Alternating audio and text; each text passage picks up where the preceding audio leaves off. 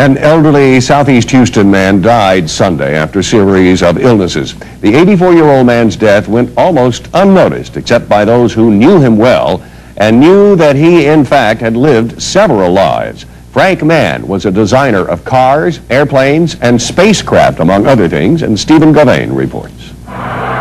Wherever there was a band and pretty women, you could find Frank Mann tirelessly dancing. He danced at small clubs or on a big stage. It didn't matter. This was last year in Hermann Park when he was 83. 60 years ago, Mann met Howard Hughes, and the two eventually worked together on the famous Spruce Goose. Mann also designed cars, but didn't guard his drawings well. A competitor used one of his designs to make the Corvette. In his Southeast Houston auto mechanics shop last year, Mann told me he had to fight for acceptance because of his color. I looked at it this way. If I can do more than the average and get the recognition that people are going to accept me for what I've done and what I am. Mann also loved trains, but racial barriers once kept him out of a railroad hobbyist club.